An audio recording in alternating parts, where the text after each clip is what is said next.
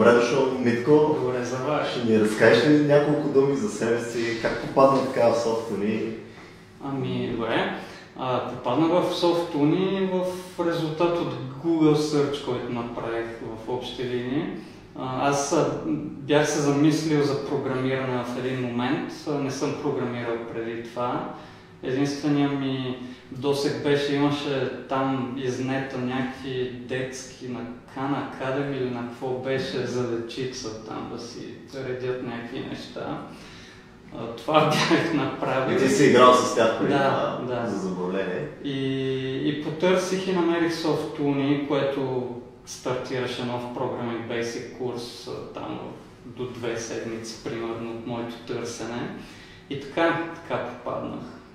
И какво ти е впечатлението? Така? Намери ли си мястото или... Ами май си го намерих. В смисъл, аз се започвайки от нула, горе-долу всичко, което учихме ми беше ново и респективно интересно и респективно имах усещането, че научавам и че прогресирам в общи линии.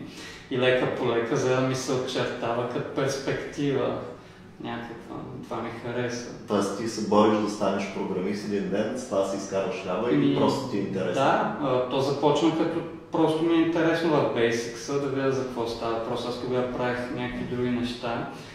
И вече след Basics реших, че май ще се пробва. По-сериозно. Да, да. А, а иначе от какъв бекграунд идваш? Ами- Друга професия ли? Да, да, на мен ми е хуманитарен бекграунд изцяло още от гимназията. Аз съм учил в класическата гимназия, там от до 10-ти клас учихме математика и, и там физики, всякакви такива неща. А, и то не е много. и то не бях особено добър в тия неща, така че а, гимназията беше така, университета, история съм учил там, а, бакалавърство, магистратура, наистина нищо, нищо общо. Всъщност аз към момента, в който попаднах в софтуни, от там 6-7 години играх покер професионално и всъщност това е нещо, което много повече бих могъл да свържа с програмирането, отколкото това, което съм учил в университета. И сигурно развива някакво логическо Да, мислене Да. и то на, на така едно добро ниво. И да, при всички случаи, а, при всички случаи, нали, като съм се опитвал да правя паралели между това, което съм учил и програмирането, такива няма. Такива няма. Историята е субективно, нали?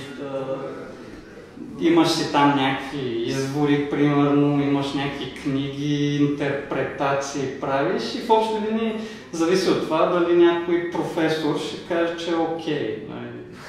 А при нас е някакси формално в Ами смисъл. да, тук или, е- или работи, или не работи. Да, точно. Си за мен това ме привлече и, и това в покера е по същия начин. В покера ти нали, правиш някакви неща или печелиш. Или на ръката, или на... Да, да. Или си ти някакво... В този смисъл малко повече си приличат, доколкото реалността те ограничава и ти слага някакви рамки.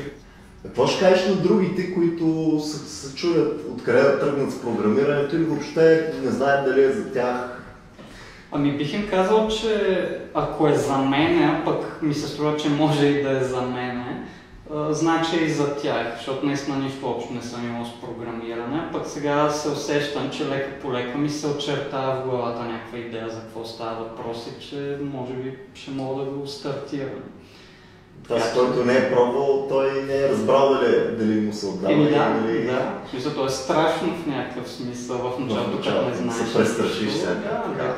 Влизаме в уния сложните кодове, да ги Да, пишат тия хора. да. Не разбираме, но да. Ами успех на тебе, успехи на всички, които ни гледат. Пробвайте, защото така се става програмист с пробване.